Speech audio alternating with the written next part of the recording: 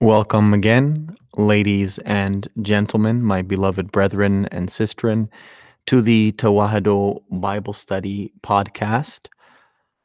As always, you can support, share, and subscribe. Subscribe wherever it is that you are listening to this, whichever device you may have in front of you. You may also share the very words of God that you hear or the link to wherever you found this. And in addition, you can support by subscribing to the newsletter, aksum.substack.com, or heading over to patreon.com slash T-E-W-A-H-I-D-O. We are in the scroll of the apocalypse, the scroll of uncovering, the scroll of revelation, whichever translation you like better. Chapter 16, and of course, reading from that lovely KJV. Let's start with verses 1 to 7. And I heard a great voice out of the temple saying to the seven angels, Go your ways and pour out the vials of the wrath of God upon the earth. And the first went and poured out his vial upon the earth, and there fell a noisome and grievous sore upon the men which had the mark of the beast and upon them which worshipped his image. And the second angel poured out his vial upon the sea, and it became as the blood of a dead man, and every living soul died in the sea. And the third angel poured out his vial upon the rivers and fountains of waters, and they became blood. And I heard the angel of the water say, Thou art righteous, O Lord, which art and wast and shalt be, because thou hast judged thus. For they have shed the blood of the saints and the prophets, and thou hast given them blood to drink, for they are worthy. And I heard another out of the altar say, Even so, Lord God Almighty, true and righteous are thy judgments. And so, as we saw earlier in the scroll of Apocalypse, we see that God is not the God of one age, but of every age, of the ages of ages, of the age to come, of the past, of the present, of the future. And so he's the God of all that is space and all that is time, the entirety of the cosmos, the entirety of the universe. And it is this God who chooses to represent his life giving word through a voice. And should you heed it, good on you. Should you not, that voice will be pronouncing judgments against you.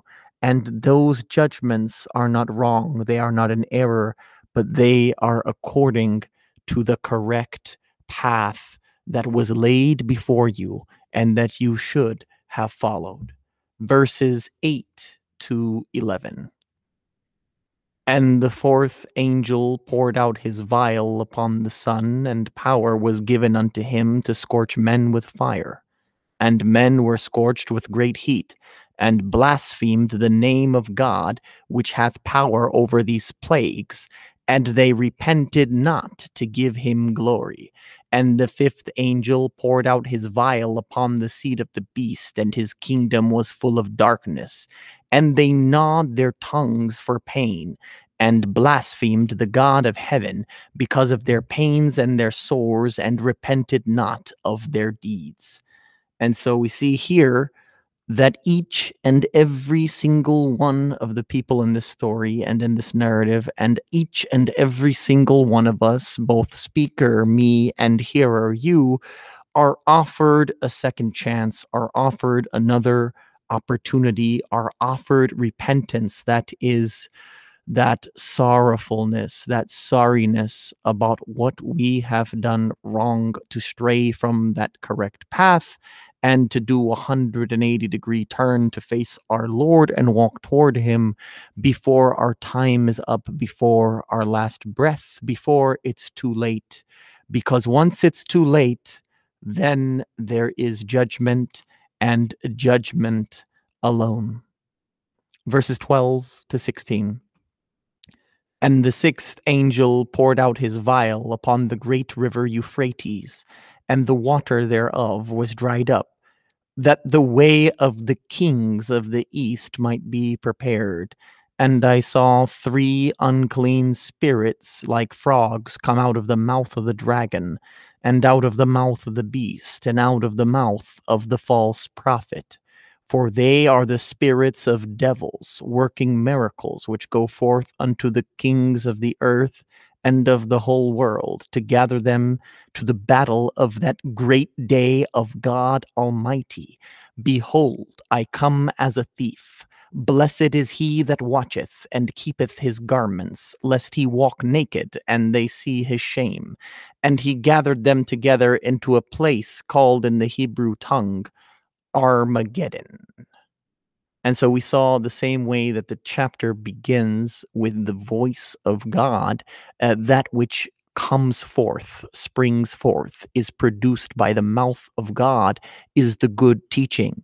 That which comes out of these frog like demons and demoniacs and spirits that are evil and demons is the teaching of the false prophet or the false teacher, the false preacher, the Antichrist. And God will do great battle on that day. And that is, of course, the judgment. And when that day will come is not for us to know. He will come like a thief in the night. That is to say, he's not going to send us a text message or a call or a 30 minute reminder or a five minute reminder on our email calendars. We need to keep watch like the night watchman of any great Middle Earth or fairy tale type movie or book. And we need to have perfect garments the garments of mercy, the garments of grace, the garments of shalom, which is wholeness and peace. And these things, this coming like a thief in the night, this keeping of the watch, and these garments remind you of the gospel of Matthew, very much so. And I would encourage you all to stop seeing these things as coinkadink. It is no coincidence. It is providence. And that is because the scroll of Matthew and the scroll of the apocalypse are one with one another. Finally, we have this great word that is so seeped into the popular imaginations of the American people because of, again, the world of cinema. Armageddon. Well, the Har means mountain, and the Mageddon is some sort of place, whether it is literal or eschatological. Given all the judgment we're talking about, I'll leave to you. But those who are Ethiopian in the not audience will recognize the word Har as it's in the word Amhara, one of the largest ethnic groups of Ethiopia. And we see Am is people in Hebrew, and of course, Har is mountain. And we find that these people are indeed highlanders or mountain men or mountain people. I also think that it's good for us to reflect in this moment why would there be a random Hebrew word in the Greek New Testament? Well, there's nothing random. There are no coincidences. As we said, it is providence.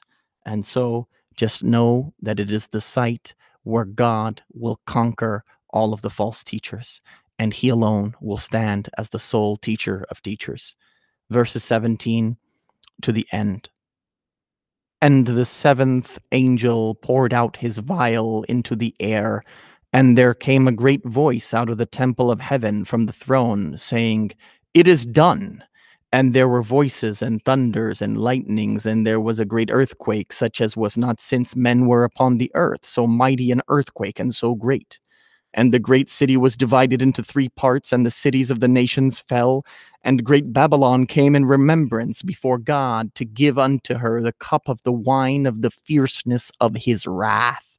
And every island fled away, and the mountains were not found. And there fell upon men a great hail out of heaven, every stone about the weight of a talent, and men blasphemed God because of the plague of the hail, for the plague thereof was exceeding great. Again, look how in verses 12 to 16, we're talking about Armageddon, which has the Hebrew word har and mountain here. And then here in 17, the end, we, we see that mountains were not found. So the mountain of God replaces those people who think of themselves as mountains. Mountains are where people's loftiness, people's arrogance, people's worship of false gods would often happen. Babylon is Babylon, but Babylon is also Rome and it's also functional because it could be Ethiopia or the United States for that matter. These islands and mountains are hideaways. They're places where humankind, where the son of the groundling likes to boast. But they will not be able to boast. They will not be able to hide when judgment comes. They will be exposed to that judgment. And in that day, the time for repentance will be over. Instead, it will be time for awe of God, to whom be the glory unto ages of ages. Amen.